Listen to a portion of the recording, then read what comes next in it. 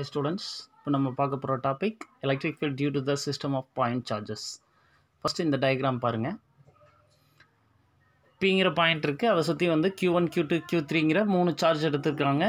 அந்த பாயிண்டில் total electric field எப்படி எவ்வளோ அப்படிங்கிறத கால்குலேட் பண்ண போகிறோம் க்யூ ஒன்கிற சார்ஜ்லேருந்து பிங்கிற பாயிண்ட் ஆர் ஒன் பிங்கிற டிஸ்டன்ஸில் இருக்குது. க்யூ டூலேருந்து ஆர் டூ பி க்யூ த்ரீலேருந்து ஆர் த்ரீ பிங்கிற டிஸ்டன்ஸில் இருக்குது க்யூ ஒன்னால் அந்த பிங்கிற பாயிண்ட்டில் ஏற்படக்கூடிய எலக்ட்ரிக் ஃபீல்டோட வேல்யூ E இ ஒன் அப்படின்னு வச்சுக்கலாம். க்யூ டூங்கிற பாய் பாயிண்ட் சார்ஜ்னால் ஏற்படக்கூடிய electric field E two and Q த்ரீனா E three இதை மூணையும் ஆட் பண்ணால் நம்மளுக்கு கிடைக்கிறது தான் வந்து டோட்டல் எலக்ட்ரிக் ஃபீல்டு இதுதான் வந்து சூப்பர் பொசிஷன் பிரின்சிபல் அப்படிங்கிறது முன்னாடி நம்ம பார்த்துருக்கோம். சரிங்களா? பாருங்கள் the electric field at an arbitrary point due to a collection of point charges is simply equal to the vector sum of the electric fields created by the individual point charges. This is called superpositions of electric fields.